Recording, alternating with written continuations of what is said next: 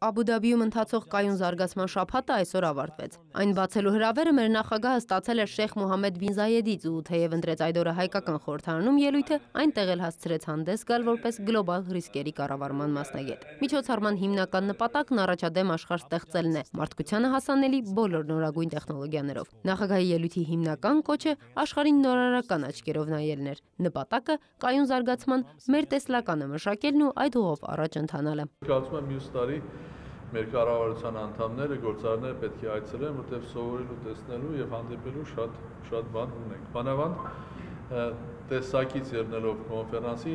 ամենավերջի տեխնոլոգիաներն են ներկայացվում։ Հետևաբար իմաստ ունի ներկայացնել Հայաստանը, որ Հայաստանը երկիր է, որը ունի որոշակի պոտենցիալ։ Կայունացման գլոբալ ֆորումի գլխավոր թեմաներից մեկը վերականգնող էներգիային անցումն է։ Մաքուր էներգիա ստանալու հարցում մեր երկիրն էլ ներուժ եւ ասելիք ունի։ Աբու Դաբիում տեխնոքաղաք են ստեղծել, այն անվանում են ապագայի քաղաք, որտեղ օգտագործում են բացառապես կանաչ էներգիա։ Սա նորարարության լավագույն օրինակ է, բայց ըստ նախագահի երազանք համարել պետք չէ։ Ներդրումների դեպքում ամեն ինչ հնարավոր է։ Ուրեմն իրենց մոդելը մեզ համար շատ հետաքրքիր մոդել է, մեկ եւ իրենք պատրաստ են համագործակցության։ Եվ այդ համագործակցությունը կարող է լինի եւ նոր տեխնոլոգիաների ոլորտում,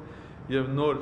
ասենք էներգետիկ համագործակցության ոլորտում ուսանողների եւ գիտահետազոտական աշխատանք։ Իրանք շատ կուզենան մեզնից ոչ միայն ուսանող ստանան, այլև դասախոսներ։ Մենք պատրաստ ենք մեր երկխոսությունը, համագործակցությունը բարձրացնել շատ ավելի բարձր մակարդակի, լինի դա քաղաքական, մշակութային, բայց դիվանագիտական իհարկե, բայց որ շատ կարևոր է տվյալ դեպքում նաև տնտեսական։ Ներդրումների հարցը քննարկվել է բարձրաստիճան արաբ պաշտոնյաների հետ։ Նախագահի հրավերով եւ գործակցության հնարավորություններին մոտիկից ծանոթանալու համար Մարտին Հայաստան կայցելի արաբական պատվիրակություն։ Գրավիչ է, որտեղ սա գործարար է, այսինքն մարդիկ կարող են կան ներդրում անեն եւ այնտեղ եթե լավ ներդրում, հետեւաբար փող կաշխատեն այսինքն իրանց համար ոչ միայն ինչ-որ համագործակցություն, այլ շահութաբեր է, որտեղ Հայաստան ունի այդ պոտենցիալը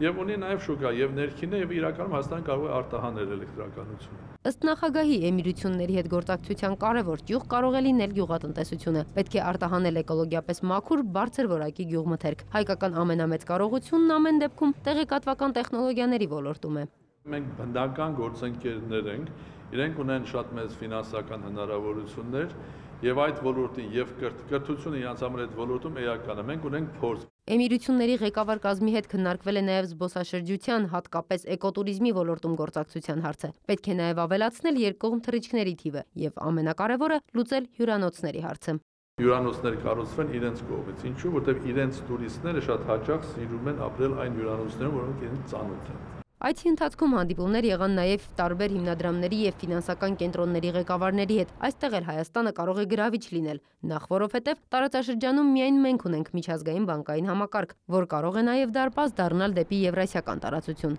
Այցի ավարտին նախագահը ծարտ ընկեց Հայաստանի դեսպանատանը։ Գործակցության բազմաթիվ առաջարկներից տնտեսական բոլոր քննարկումներից բացի ժամանակ եղավ նաև մշակույթի համար։ Աբու Դաբիի Լուվր թանգարան այցելությունից հետո նախագահի վերջին կանգառը Շեխ Զայեդի անվան մեծ մզկիթն էր։ Սոնա Աղբալյան, Էդմոնդ Հակոբյան, Աբու Դաբի, լուրեր։